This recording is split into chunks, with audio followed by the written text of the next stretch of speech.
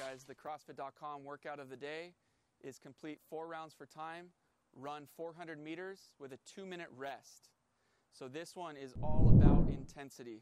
You're going to burn it down for, for 400 meters and you're going to rest two minutes. So we're looking at a time frame of sub two minutes for elite level athletes. They're going to be getting close to a minute, a little bit over a minute, and you're going to get more rest. So those others that maybe aren't uh, don't love running, they're going to push that like two minute time frame, but you're still getting one to one work rest ratio. So that two minute rest is with the intention that you have enough rest to hit that next round with full intensity. Challenge yourself here. Don't cherry pick today. The last time we did this was, was in 2008. So go hard, enjoy it, and realize you're getting better today. I'll see you guys on the leaderboard.